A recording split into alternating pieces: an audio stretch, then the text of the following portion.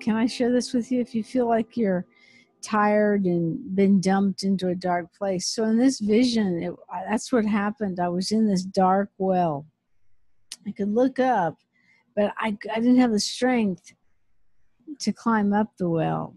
Okay. And so what the picture I got was uh, prayers of friends who came down, swooped down into the well, kind of got muddy with me, but they picked me up, wiped off the mud, dusted me off, and they helped me climb back up the rope out of the well. Now the well was at the edge of a vineyard, and they're basically they didn't shove me, but they basically said, "Hey, go deep in the vineyard. This is between you and the Father. This is just our assignment with our prayers was to get you out of the well." Which was really beautiful. So I went deeper and deeper into this vineyard, and the deeper I went, I could feel the Holy Spirit just wrap His arms around me. I mean, it had been a cold, dark place in that deep place in the well, but the intimacy of the Father and, and the Holy Spirit was just was just strengthening me. I got to the very end of this one row, and there was the vineyard. He had a table, like a picnic table laid out. He had some fruit and some bread and he was drinking coffee and he summoned me over. It was so precious, his vision. I sat next to him. He said, Do you want me to hold you? I he held me. I cried. He wiped my tears, set me back down, and poured me a cup of coffee. The Holy Spirit and Jesus joined us. And it was just a time of refreshing. As the refreshing in their presence and supping with them, I felt the strength and the Holy Spirit uh, said, Hey, you haven't dropped your sword. I said, Oh, that's good. But the Father said, Keep it in its sheath. Because this, this picnic table was at the base of a mountain. He says, Keep it there. You don't need it sticking out. You're going to climb that mountain. It's like, okay, so I'm just going to obey the Father. So after I had some wonderful fellowship with him, I started climbing the mountain, and the Holy Spirit was there to kind of help me along. Jesus was took my arm. I had the Father down below, and I'm just obeying, climbing this mountain. It wasn't real steep, but it wasn't real big. And I got to the top of the mountain and as far as I could see left, there's a little vineyard. As far as I could see center place, there's a bigger vineyard. And far on the right, there's just a majestic view and territory. And then from my right side, a couple friends came in. It wasn't like a near death experience. They were alive. They had made the climb before me. They're the same ones that pulled out of the well. It's like boom, there they are. And there's David and and it was just like this this vision was just like the lord saying you need to release people. They some of them are caught in the well. Some of them don't know they're out of the well but they don't know where to go. They don't know they can go deeper and deeper into realms of my glory and in that deep place find a table in the wilderness and be able to be strengthened for the next mountain climb. And it wasn't like when I got to the top of the mountain, I saw another mountain. No, it was just a place to rest. It was a place to declare over the land that I could see using my voice. And um and then I thought, well, you know, I was thinking about this. Lord, what if someone really desires those kind of friends that'll pull them out of the well? And God reminded me of Psalm 15 which I used a couple of years ago as my friends, we were all going separate directions. Not there's no hurt, we are just in different circles. And God said, Pray Psalm 15 of as your declaration for the few friends you have and the friends that you desire. And Psalm 15 in the Passion was just so, so real to me because I believe when you put that in God's hand, He can accelerate even the time that He connects you with people. So I just make that declaration of glory over you. And I hope that helped. I hope that brought some peace and strength. I was sharing about uh, the desiring visions and encounters, and of course, this is a new uh, course of identity restoration. Right. Um, identity restoration and dealing with trauma. So I know you've been praying. That mic is live. I know, I saw that. It's, oh my uh, goodness, it's been a week of encounters. Yeah. So four, five mornings ago, I was awakened with an audible voice that said, "Life, I come to give you life and life more abundantly." An audible voice. I got up. It's in the wee hours of the morning. The sun hadn't rose, you know, and I'm like, whoa, whoa, that's pretty cool. what does life and life more abundantly look like? What does it feel like? What is that like? Wow. So then yesterday, or last night, I should say, at 151, it was like a thud, and I was awakened. And I looked over, and it was 203, and I'm thinking, wow, 12. That's interesting because Theresa had gotten a text, and somebody had sent her a text that said 12, 12, and she was kind of laughing, going, all these numbers, because she don't get numbers I do, you know, so it's funny. And then I'm like, wow, that was so interesting. So I prayed and I prayed and I prayed, and then at uh, five o'clock, I heard another voice. It said, Today. It was just as clear. And about three minutes later, it sounded like a wooden, somebody hit a hammer, like a judge's gavel on wood. And it was on Theresa's side of the bed. And I said, Theresa, what was that? She said, I don't know. I think it was my AirPod or my earbud or something. So she gets up. The first thing she says to me this morning is, I don't know what that was. I couldn't find anything. So I just laughed and I didn't process anything with her, you know. But God has a way of speaking to us in encounters, and He wants us to experience Him in all five of our senses. So you can imagine how I felt when I walked around the end of the couch uh, a week and a half ago and I smelt frankincense. Mm.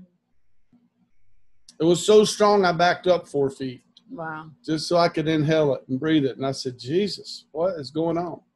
And he reminded me how I sat in that room and prayed. And he told me that that was the smell of our prayers on his incense altar in heaven, in the throne room. It was like frankincense. Our prayers are like frankincense in his nostril. Wow, that was so cool. What a fragrant relief. And what a release for me, knowing that, you know, when you're walking in the midst of a traumatic experience or you're you're being attacked or whatever you're going through, you know, you don't have to get up under the drama of the trauma and you can just keep walking in peace. And what a relief for me to hear God say, You're my son and I'm well pleased. You know, the last thing Jesus heard before the attack of the enemy, driven out in the wilderness by the Holy Spirit, the last thing he heard was, This is my son in whom I'm well pleased. So he didn't have to doubt when the enemy came in and said, If you be the son of God. It had no, no, no, no. He was the son of God. He knew who he was. And mm. God wants us to move in such a realm that trauma can't move us off the perch of our peace and joy. That's what the enemy's after. And uh, of course, you know, with with everything we've been going through, and some may know and some may not know, but it was so funny because God said the storm is not the trauma nor the drama of everything that's going on in your personal family life. The storm is the war on your voice. I want you to understand that everything you're going through is the storm or the attack of the enemy against your voice because he wants to shut you down. He wants to stop you before you liberate so many other people. And we come together in unity and we move in the realm of the supernatural to eradicate darkness. That's his whole job steal, kill, and destroy. He wants to steal your joy, steal your peace. What? Kill your voice, destroy your opportunity for your destiny, but he can't do it. So when we're moving in the realm of trauma and we're trying to get over trauma and the enemy just keeps throwing poo at us, we got to figure out what we're going to do with it. And it was so funny when I watched Gordon Ramsay the other day because the Lord said, you know, some places use poo for fuel. And so it's so funny when this guy was making rye whiskey what he used to fuel that furnace to make that rye whiskey was sheep poo. you know, in Africa they use elephant dung, you know. So there's different places all over the world that and so God says whatever's coming against you, the fodder that's left behind, you'll use to fuel your future destiny. It's going to propel you forward. Glory to God. Now, it's not easy when you're walking through all this crap. You know, you got your emotions, you got your feelings, and you know, you want to go against these people and you want to curse them. And God says, keep your thoughts and mind your tongue because I will establish your thoughts and I don't want you to release a curse.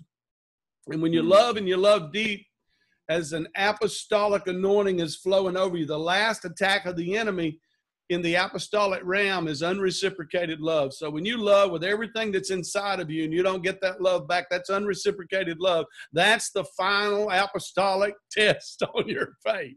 Hallelujah. That's what Jesus got when he was sent to the cross. He had loved and he had loved well. All who come to him were healed. Wow.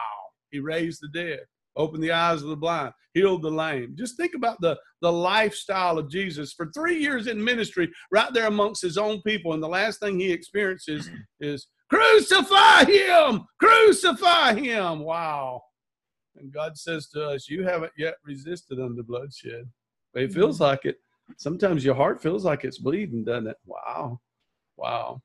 Mm-hmm. Never let the enemy so discourage you that you forget about the joy of the risen Savior. Mother Teresa penned that a long time ago. Your tongue is the pen of a ready writer. If you don't write it down, you're going to lose sight of it. So, the most unlikely place that you'll find the growth is in the crushing. It's the craziest thing. This is when you get pushed and that when you love God, no matter how strong the crushing is, it pushes you into a deeper level of God's love. You learn to see things the way He sees. You may never understand it, and I hope you don't drive yourself crazy trying to figure out why. You cannot be responsible for other people's choices. You can't get up under the burden and the responsibility of somebody else's choices. If you you're just you're defeating yourself when you do that. Right. You cannot be responsible for choices that other people make that are negative. On a good day, I do well to manage me. That's what he says, right? That's what he tells us to tell other people. We yeah. say it a lot, you know. When we we get together and we come together in corporate worship, we come together to empower and encourage one another. Yes. And what we come together for is is is to worship Jesus. You know, we love the corporate worship thing. But if I can't get up early in the morning and worship Jesus by myself, if I can't come down in my living room and just fall on my face and just cry and say, Oh, Papa, I love you so much. See, when I go into the worship realm, I don't go in there with expectations of what I can get. I don't go in there with a list of what I need or what I want. I go in there with all and reverence. I go in there with respect and honor. I go in there with love because of what he's already done. It's not that I need anything else. He's been so good to us. Hallelujah. You think about the word, the word comes alive, especially during trauma, the word will come alive. The enemy plants a thought, and as soon as you recognize that it's an enemy's, enemy's thought, you want to bring that thought into captivity. And the way you do that is any thought that comes into you that doesn't sound like a perfect, loving father is not his thought and it's not your thought. Why? Because you belong to him. You've been hidden in him. You're hidden and engraved in the palms of his hands. Okay. You now have his mind. You have his intellect. You have his DNA. You're seated in the heavenly realm with him. Hallelujah. Wow. You're bilocational. How about that? You're seated in the heavenly realm with Jesus. Wow. As Jesus is, so are you. So any thought that comes in that doesn't sound like a perfect father, well, you know it's not him. I cracked up laughing, and I hadn't shared this, but with with too many people. But this was so funny.